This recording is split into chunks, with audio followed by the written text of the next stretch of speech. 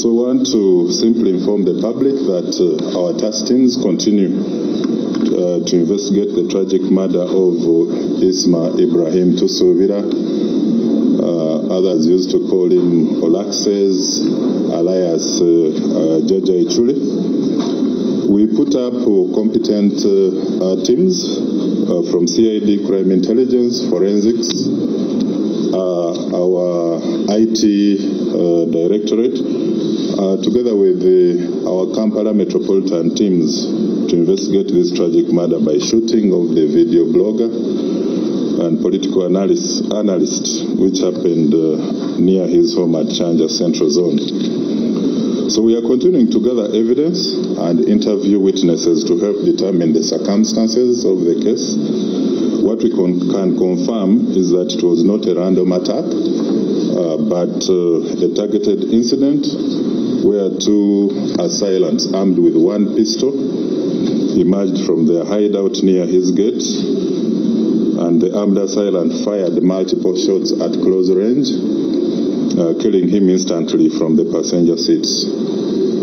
It was very unfortunate. His driver, Waiswa Matthias, remained unscathed without uh, any injuries, despite the bullets which were riddled, uh, despite bullets which riddled the driver's side.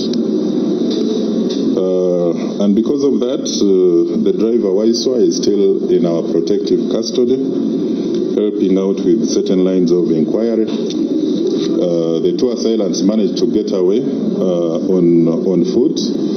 Our canine managed to trail the scent up to one of the main roads where it is believed uh, they boarded uh, a motorcycle and uh, and escaped. Uh, they dropped one one glove which we believe was used by the shooter, which the canine was able to to to help recover. So outside the driver, we also have two other suspects who've been arrested. So together we have three people whom we are we are we are interviewing uh, for now. We are also reviewing the entire movement of the victim and his driver from Munyonyo, where he was playing football at around 4 p.m. via the Entebbe Expressway. Uh, they stopped over for dinner at Nyakana's Bar in Mutungo, and uh, uh, they left Nyakana's Bar at around 8:15 for his home. Uh, there's another interesting part, of course, that uh, our cyber teams are following is that uh, as soon as they left uh, uh, Mutungo, when they reached uh, Munyonyo roundabout, uh, the victim, Isma, received a phone call and he asked the driver Waiswa to park aside near Munyonyo roundabout because the person behind the phone was telling him that, okay, you wait for me, let me come and meet you there. So they waited for the person behind that phone call in vain. He did not appear, so they drove on until when they reached the gate at around uh, 9.20 to 9.30 p.m., where they were attacked and the victim shot dead. So it's not clear whether the caller is linked to the masterminds of this murder uh, or not, but our investigations will be able to establish in due course.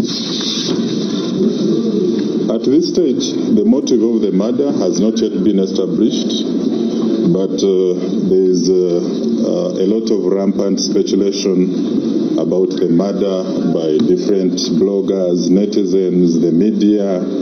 Everybody is bringing out uh, his version. Uh, but uh, uh, we call upon the public to, to remain calm and patient. Uh, this continuous speculation is a disservice, first of all, to the family and, uh, and the public. Uh, because uh, those many versions have not yet been verified. Uh, we are aware that some of these videos were controversial, but we are yet to establish whether his murder is related to his social media work or other motive. So our thoughts continue to be with his immediate family, friends, relatives, and all well wishers affected by the sad incident. Uh, right now, our task teams, like I've indicated, are working diligently in trying to identify the persons responsible.